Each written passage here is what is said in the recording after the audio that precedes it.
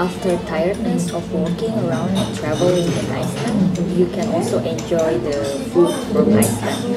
Uh, um, in one city, Höfn, which is uh, literally means harbor, then uh, you can enjoy this very delicious langoustine. As you can see, I ordered langoustine and also butter garlic pancake. And a lot of variation like pizza, also full course. Okay, I will enjoy next